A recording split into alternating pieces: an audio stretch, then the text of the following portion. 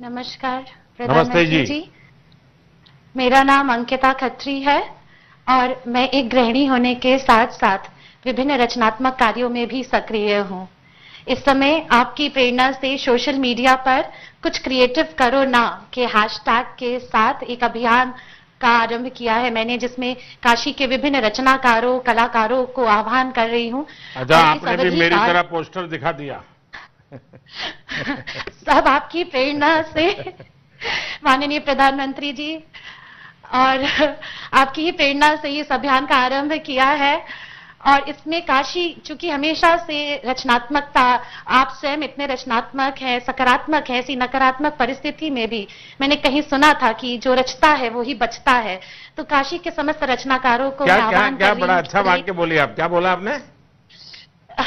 जो रचता है वो बचता है। वाह। तो ये मैंने कहीं सुना था तो आपकी प्रेरणा से इस अभियान का आरंभ किया है।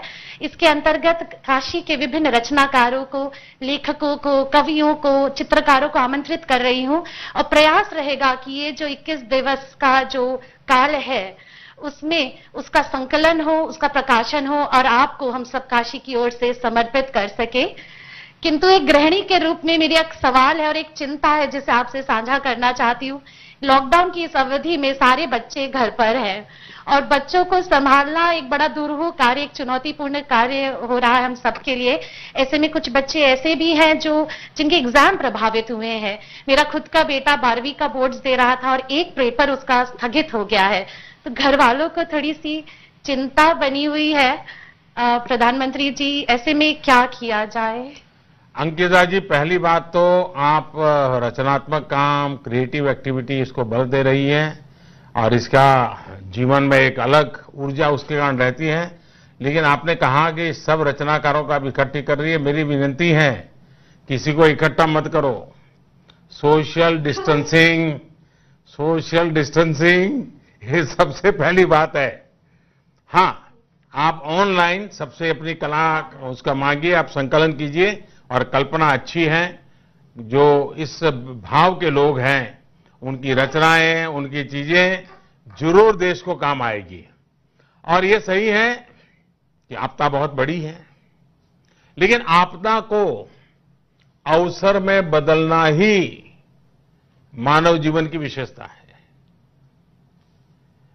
इन दिनों सोशल मीडिया में आप लॉकडाउन का एक और प्रभाव देखने को मिल रहा है। बहुत से लोग ट्विटर पर, फेसबुक पर, इंस्टाग्राम पर विस्तार से बता रहे हैं कि कैसे वो अपने बच्चों के साथ ज़्यादा समय बिता रहे हैं।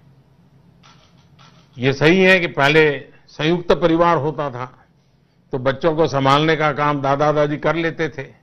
आज जरा छोटे परिवार हो गए तो मुश्किल स्वाभाविक है लेकिन आपने देखा होगा, टीवी में, इलेक्ट्रॉनिक मीडिया में, रेडियो पर, इसे लेकर कई नए नए शो बन रहे हैं। हमारे देश के मीडिया में भी क्रिएटिविटी है। उन्होंने लोगों को एंगेज रखने के लिए, लोगों को घरों में है तो क्या करना चाहिए? बड़ा अच्छे ढंग से इतने कम समय में उन्होंने किया है। और एक लॉकडाउन में नई नई बातें वो दिखा रहे हैं, सिखा रहे हैं।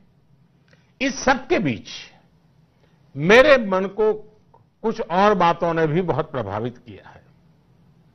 मैं देख रहा हूँ कि मानव जाति कैसे इस वैश्विक संकट से जीतने के लिए एक साथ आ गई है और इसमें भी सबसे बड़ी भूमिका निभा रही है हमारी बाल सेना, बालकों की सेना। मैंने ऐसे वीडियो देखे जिसमें चार चार पाँच पाँच साल के बच्चे माता पिता को समझा रहे हैं कि कैसे हाथ धोना है, बाहर नहीं निकलना है, ऐसा नहीं करना है, वैसा नहीं करना है। बालक समझा रहे हैं। छोटे छोटे बालक बालिकाएँ इस संकट पर अपनी प्रतिक्रियाएँ दे रही है।